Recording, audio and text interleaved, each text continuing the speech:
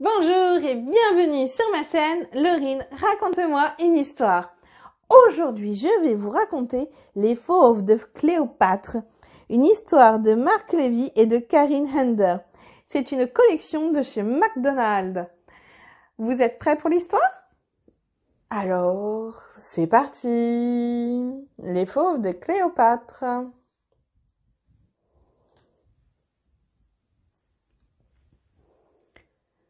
Vous saviez que Cléopâtre avait un lion apprivoisé chez elle? J'ai entendu dire que c'était un tigre. Mais c'est très dangereux des lions et les tigres. Et si nous allions voir Magie Calibri, Magie Calibra, à nous les fauves de Cléopâtre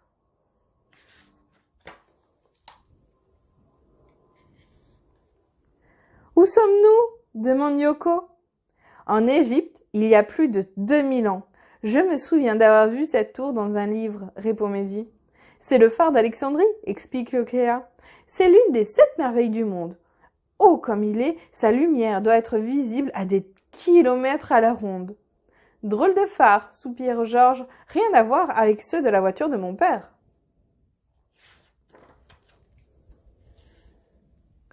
C'est étrange, s'étonne Cléa. Cet endroit est désert. Pas si désert que ça, regardez. Que faites-vous là? demande un garde d'une voix autoritaire. Nous menons une enquête, répond Yoko sans réfléchir.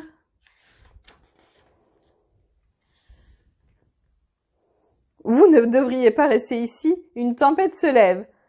Peut-être pourriez-vous nous renseigner? Est-ce que la princesse Cléopâtre possède un lion apprivoisé? demande Georges en ignorant l'avertissement du soldat. Cléopâtre n'est pas une princesse, mais la reine d'Égypte, répond le garde. Savez-vous nous pourrions la rencontrer questionne Yoko? Elle rentrera bientôt à Alexandrie. C'est sa flotte que vous voyez au loin. À condition que la mer le permette. L'orage semble se rapprocher, s'inquiète Mehdi. Rassurez-vous, le phare guide les navires de nuit comme par mauvais temps. Soudain, une rafale de vent souffle sur la ville, si violente que nos amis doivent se retenir les uns aux autres. Regardez crie Georges en levant la tête. Le vent a éteint le phare. C'est une catastrophe s'exclame le garde. Sans sa lumière, les bateaux risquent de se briser sur les rochers.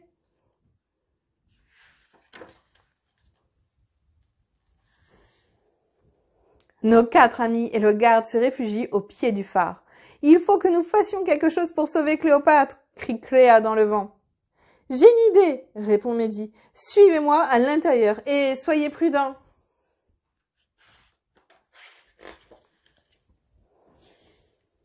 Mehdi demande au garde de s'emparer d'un flambeau. Grimpons jusqu'au sommet, dit-il. Cléa, Georges et Yoko ont compris ce que leur ami a en tête. Monter jusqu'à la lanterne n'est pas une mince affaire, et il leur faut bien du courage pour arriver au bout de cet escalier.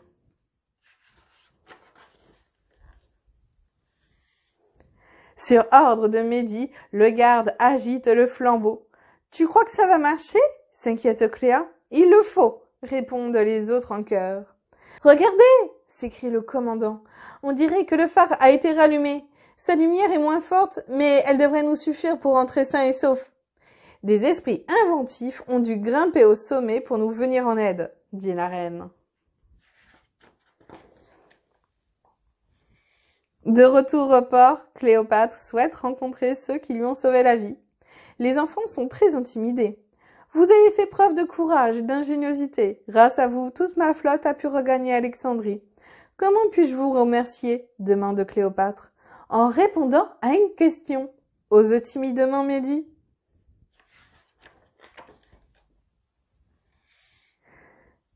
Avez-vous un lion, un tigre ou une panthère apprivoisée? Cléopâtre éclate de rire. Les animaux sauvages ne s'apprivoisent pas, mais suivez-moi, dit-elle en se levant. Il traverse la grande salle du palais jusqu'aux appartements privés de la reine. Oh, c'est magnifique s'exclame Cléa. Les peintures sont aussi belles qu'à Versailles, enchaîne Mehdi. Qu'est-ce que Versailles? demande Cléopâtre étonnée. Un palais lointain, répond vite Yoko en faisant les gros yeux à Mehdi.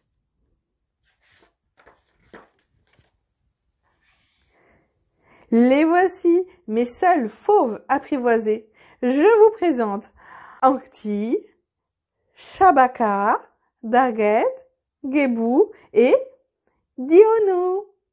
Shabaka vient se frotter aux chevilles de Yoko en ronronnant. Voilà l'explication de la légende, s'exclame Mehdi. Quelle légende? demande Cléopâtre. Ce serait une longue histoire, répond aussitôt Georges, soucieux de ne pas trahir le secret de leur voyage. Et nous devons bientôt rentrer chez nous.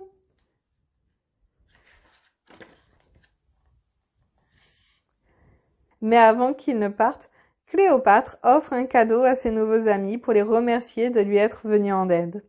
Voici un jeu que les enfants d'Alexandrie apprécient beaucoup, dit-elle. On dirait un jeu de dames, s'exclame Yoko. Ici, nous l'appelons le sonnet. C'est très amusant. Merci, disent nos amis en chœur en saluant la reine d'Égypte. Mehdi, Cléa, Yoko et Georges joignent leurs mains et prononcent la formule magique. Magie Calibri, magie Calibra, à nous le présent. Le tourbillon d'étoiles les emporte. Yoko range le sonnet que Cléopâtre leur a offert. Mission accomplie. Et voilà un beau souvenir qui nous rappellera ce voyage. Pour en savoir plus, quand se situe l'époque de Cléopâtre? Moins 200 millions d'années. Moins 7 millions. Moins 3000 ans. C'est la préhistoire. De moins 3000 ans à 746, c'est l'Antiquité. Et c'est ici à moins 69, moins 30 que se situe l'histoire. De 476 à 1492, c'est le Moyen Âge. De 1492 à 1789, les temps modernes. Et jusqu'à 2018, c'est notre époque. Les trois infos à retenir. Pour écrire, les Égyptiens traçaient des hiéroglyphes sur des papyrus. Alexandrie porte le nom de son fondateur, Alexandre le Grand. Cléopâtre fut la dernière reine d'Égypte. L'histoire est terminée. Mettez un petit pouce en l'air et surtout abonnez-vous à la chaîne pour avoir de nouvelles lectures. À bientôt!